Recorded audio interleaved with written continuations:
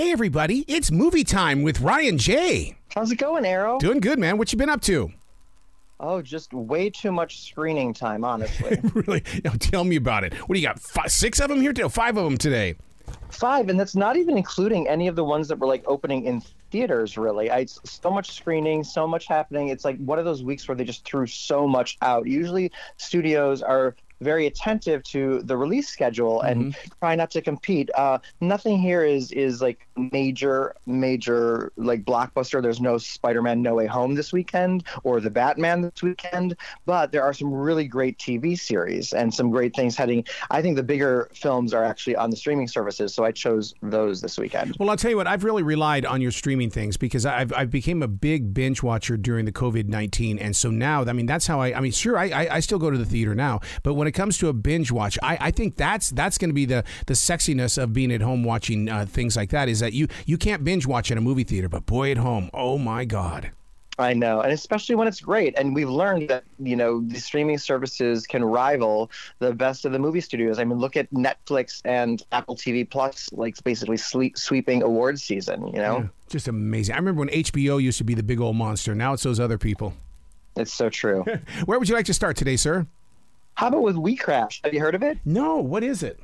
Well, it's a new TV series on Apple TV Plus. It's a limited series, eight episodes. The first three appear today on Apple TV Plus. It's based on the true story of Adam Newman and his wife Rebecca Paltrow Newman. She was Gwyneth Paltrow's cousin in real life, and they're portrayed in the in the TV series by Oscar winners Jared Leto and Anne Hathaway. Oh, you won me over. You won me over. Yes, they are so good in this show so good. So, you know, in order to review, I'm like, I'm going to watch the first three episodes, but Apple TV uh, supplied us with the whole series, uh, the whole season. So I just, I couldn't stop. I literally, the minute I started, I sat there for eight hours. Mm. Well, who is this, this Adam Newman?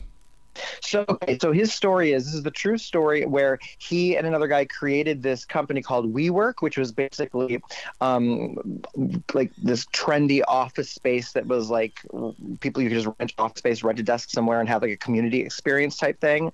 And it turns out that he and his wife were both so toxic and insane and crazy to work for, and they depict all of that. It really is insane.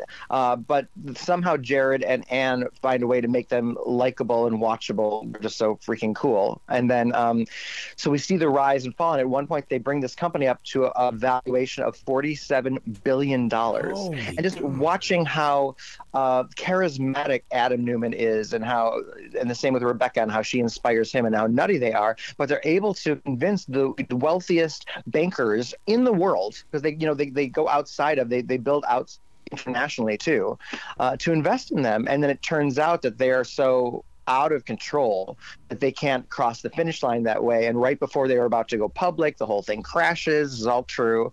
Um, and then uh, they get kicked out, and then how they recover from that, and it is just fascinating. And again, I was just going to watch the first three episodes. I watched the first three, and I sat there for another five hours. I just could not stop.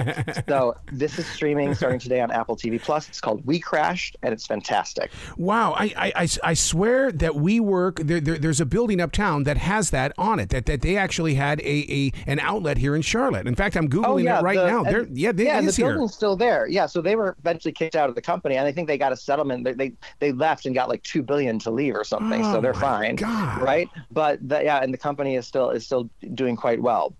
Wow, so that that just gives me a whole new meaning of that building and stuff like that right? Yeah very interesting. The show is great. There are also documentaries out there. You can see plenty about it. I mean i was i was going back and forth between the, the episodes like reading what i could on wikipedia yeah. watching clips on youtube because i was i got so into it for like that eight hour chunk you know what is it about this Jared Leto? I mean, is it? He's more than just a rock star. He's well, more than just method. an actor. I mean, he's like, wow. Yeah, he's very method, and and he chooses only good roles. So everything he chooses, I think you can trust in. I feel like Anne Hathaway too, relatively yep. chooses really great work, and she's she's somewhat of a chameleon too. I mean, she she's really great, and what they do, she's not a method actor the way that he is, but she's done some interviews recently where she's talked about like she had to call him Adam on set the entire time. Everyone had to call him Adam. He kept his um, accent because Adam Newman, the man, the real life man he's playing, is Israeli, so he had the accent going really? even when they weren't rolling the whole time. Like he stays in character, like that whole method thing. So she talked about that, and he's just great.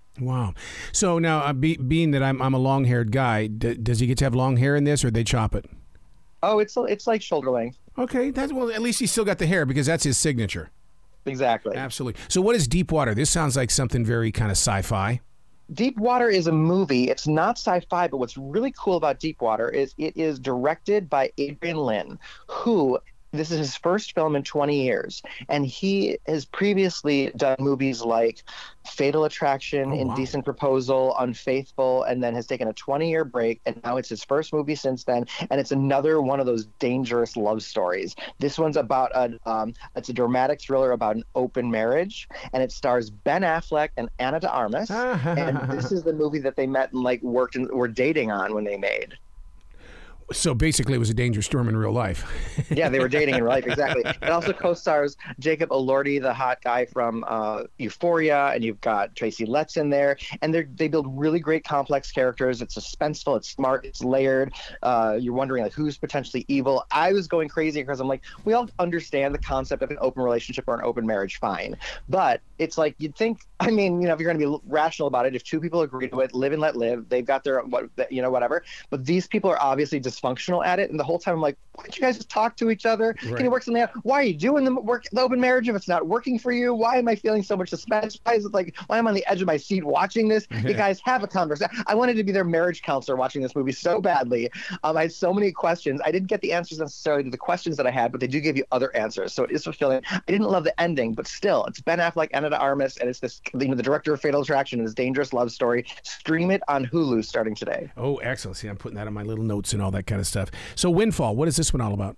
Windfall's on Netflix. It's by director writer Charlie McDowell, who did the one that I love back in 2014. I know that one. Moss. Yeah, yeah. yeah, and that's a great movie. That's weird, very weird, but good. Um, this one is not as good as the follow-up. It's completely ridiculous and absurd. It's it starts off like it's a very wannabe Alfred Hitchcock, Quentin Tarantino vibe kind of movie, and then is nothing like that. So I, I maybe it sets up your expectation early on and then fails. stars Jason Segel, who also did, uh, came up with the story and produced, and Lily Collins, Jesse Plemons, current Oscar nominee for The Power of the Dog, real life husband to Kirsten Dunst. Um, and it made me feel like if Woody Allen were ever to attempt doing a horror film and failed, this is what it would be like.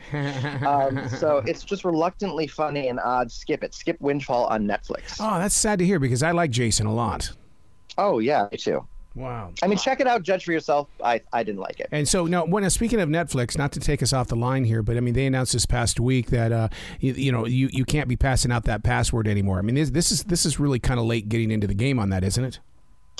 I guess. I mean, I feel like it's going to be a game they're going to either get a lot more money or some people are just going to like wait a few years and be like, I'm not going to watch until they break down or, you know, sign up here and there for a month here or there to watch something.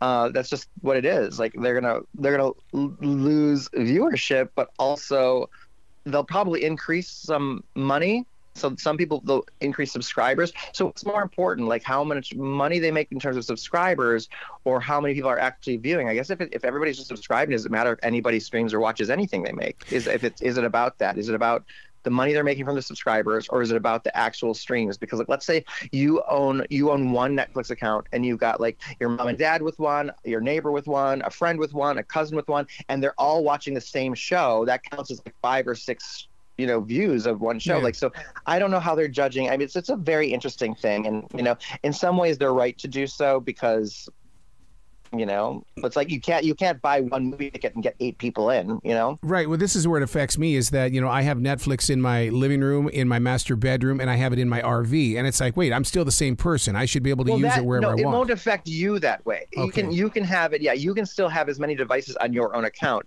It's just saying you probably can't set up profiles for multiple people. Oh, okay. See, that's why I talk to you, dude. You you do the uh-huh. research. I, I I just give it to you, and you say, you know, you're yeah, better like than my Google. Netflix account, you know, like I, my mom and dad have an account, like they have a profile. So like, I give them my username and password, and they just click on their mom and dad profile, and they have their own watch oh. list, and they can have their own pre, you know, history of what they watch. Mine is different. I've got preview content as a critic, so like they can't watch mine. Mine's password protected. If they click on my profile, they can't get into mine, you know, because I have a critic profile. But it's just interesting that way. Wow, boy, you just break it down, don't you, into files? I try. what is Master? Master is a new movie on it's rated R on Prime Video. It stars uh, Regina Hall, who I love. There was so much promise here. It is a very wannabe Jordan Peele horror movie because it's like a socially conscious. Um, horror film. And I loved the way I remember like a quarter of the way into this movie, I thought, oh my God, this might be one of my favorite movies of the year. It's Regina Hall. It takes place on this campus, uh, college campus on the East Coast. And there's like racial overtones and controversy here and implications. And uh, there's like a witch that had died that might be mm. haunting students still, and I was very into it. It becomes such a mess of a movie. Uh, although the themes are good, it's a totally missed opportunity. The script and the editing, it was horrible. I was so disappointed in how bad it was as a movie, how bad it becomes that I have to say skip it. Oh. skip it. yeah, skip it. Skip master. We need to market that, man. We need to get some merchandise that has T-shirts and hats and stuff. Skip it. exactly. Skip it.